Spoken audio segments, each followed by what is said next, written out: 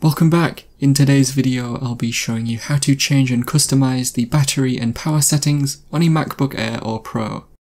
The method should work on just about any MacBook running one of the latest versions of macOS. You might want to change the power settings to help save battery life or to stop your device's screen from turning off automatically. Remember to leave a like and feel free to subscribe if the video helps. Let's get into the method. To get to the battery settings, first go to System Preferences.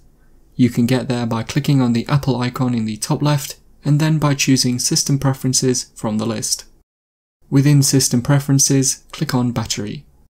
In the Battery tab, you can change settings relating to when on battery power, such as the display brightness and battery optimization settings. At the top, you can see the timer for when the screen will automatically turn off.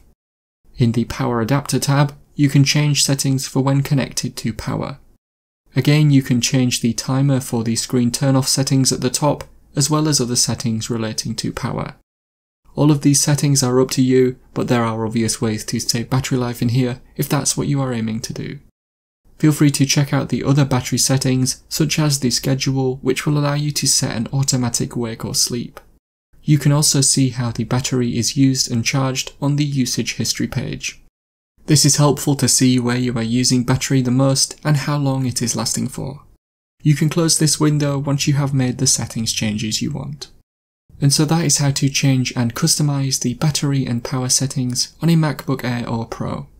Click the card on screen now to watch a video of mine showing you 10 easy ways you can speed up your macOS device. Help support the channel by visiting the store, the link is in the description and at the end of the video.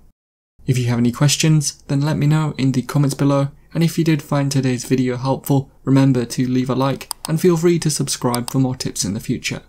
Be sure to stick around to see some of my other videos that you might be interested in. Thanks so much for watching, and I will see you in another video.